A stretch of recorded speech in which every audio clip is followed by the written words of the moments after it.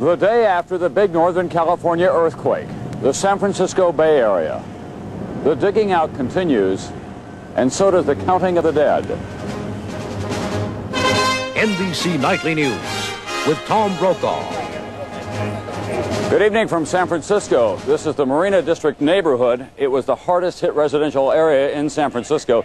It is believed that between three and five people died in that apartment house right back there. Although I must tell you, most of the damage in San Francisco has been confined to this area, which is about four square miles altogether. I made a helicopter tour today of the entire Bay Area, and the greatest damage was right here on the Oakland Bay Bridge and, of course, on Interstate 880.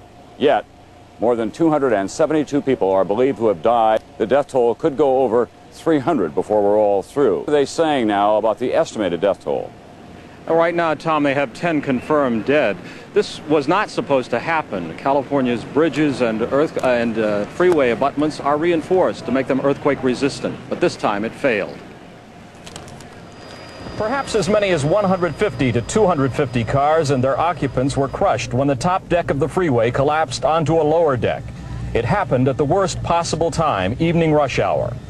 This morning, firemen hoisted their ladders up to the structure looking for victims.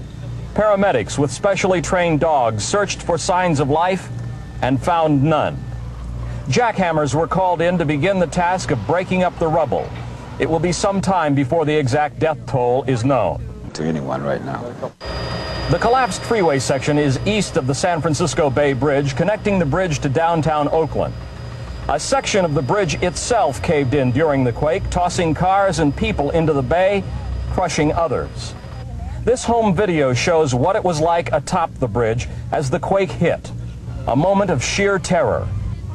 Authorities say it will be at least three weeks before the bridge reopens, completely disrupting life for thousands of Bay Area commuters. And late this afternoon, Transportation Secretary Samuel Skinner said it would probably be a year and a half before this section of freeway is reopened.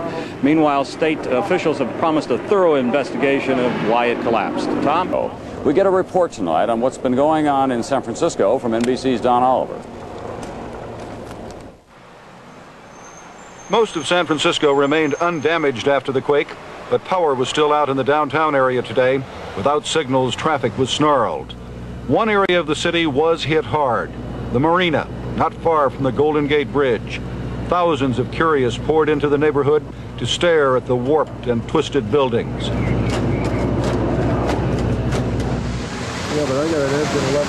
And watch firemen continue to pour water on the remains of an apartment building and two homes. Most of San Francisco, the hilly part, is built on solid rock. But this was once part of San Francisco Bay. It's all reclaimed land. The quake turned it into a bowl of jello, and four-story buildings were shook to the ground. The fires were believed to have resulted from broken natural gas lines. During the night, rescue workers looked for survivors in the damaged buildings and guarded against looters. Today, Mayor Art Agnos said the citizens of San Francisco were well behaved. The crime was way below average. Uh, the bookings were down, the arrests were down. Today, the grim search for bodies began.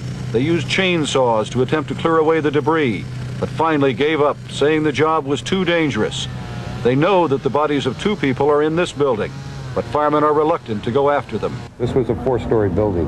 There's only two stories above the ground now. How are you going to get at them? And uh, we can't risk sending a crew in if this is going to topple over. Vice President Quayle toured the area by helicopter and then surveyed the marina damage from the ground. He promised quick federal assistance.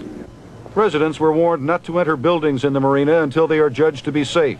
Some took great chances anyway in order to salvage their belongings. Oceanfront community may not get its electricity back for three days. The water supply is contaminated and the sewers aren't working. Only a handful of stores were open today. Residents spent hours waiting in line to buy bottled water and bread. Only one customer at a time was served. Fluid hot dogs, Pepsi, six-pack root beer bread, chips. Earth and dam reservoirs, though, in the mountains above the town held. It was the only good news Santa Cruz had. Uh, I don't know if this isn't the big one. Uh, I don't know what would be left of this town if we got anything bigger than what we had. The National Guard was activated to help police patrol the streets. County officials said damages here, where the earthquake started, would exceed $500 million.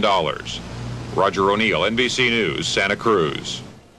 California has six nuclear power plants altogether, none of them damaged by the earthquake. Rancho Seco, which is near Sacramento, just north of here, and Diablo, just south of here, are open and doing business.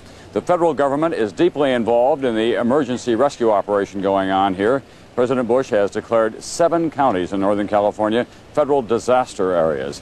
NBC's Robert Hager in Washington has been following that part of the story. In Washington, an army of federal and private workers began organizing a huge relief effort. President Bush, who will visit the scene late this week, grabbed a phone himself at one point. Jeff, is the president. How is it doing out there? What are you, are you getting a lot of requests for emergency medical